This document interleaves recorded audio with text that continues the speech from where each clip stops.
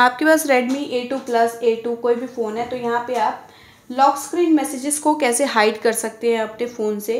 तो इसके लिए आप यहाँ पे जाएँगे सेटिंग पे स्क्रॉल करेंगे। आपको यहाँ पे नोटिफिकेशन एंड कंट्रोल सेंटर का जो ऑप्शन है, इस क्लिक कर लेना है।